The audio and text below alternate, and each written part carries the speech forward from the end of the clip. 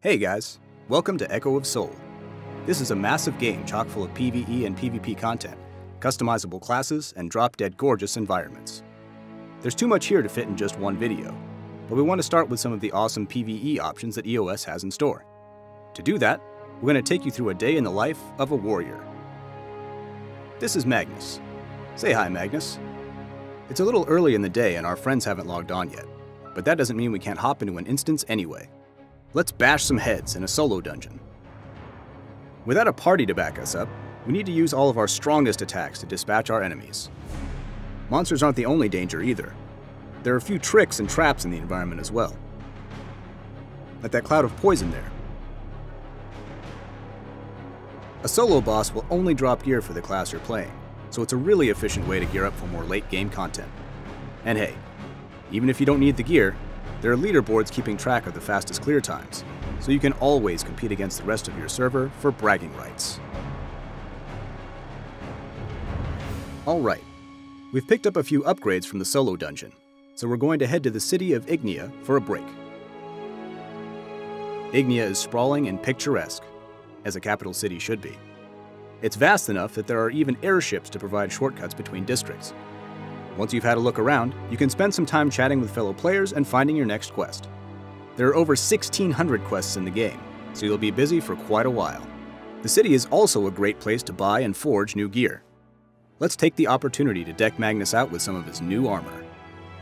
Ignia also happens to be the best place to find other players, and hook up with your guildmates for party quests. Our friends have logged on and they're ready to rock. We're suckers for variety, so we're bringing the whole range of classes to this party. The Rogue. The Archer. The Guardian. The Sorceress. And of course, the Warrior. Okay, let's make tracks for a party dungeon.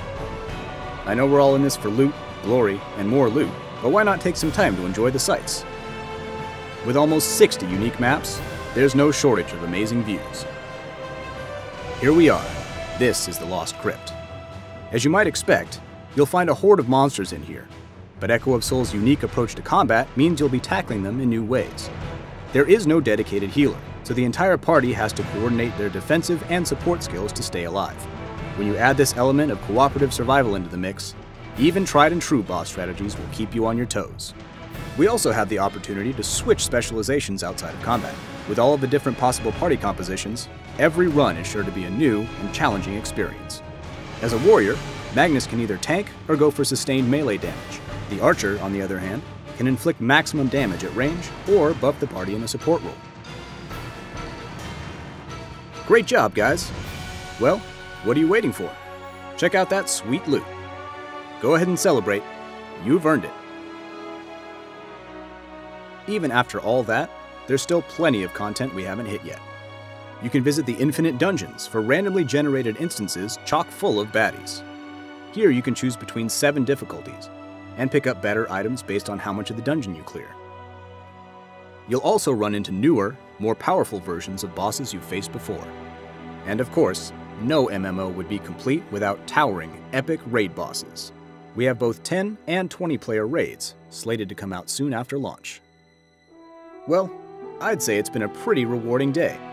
Just look at all that new gear Magnus is sporting. But tomorrow is another day, and there's still so much to do. Maybe we'll check out some PvP next time. Magnus will be right here waiting for you.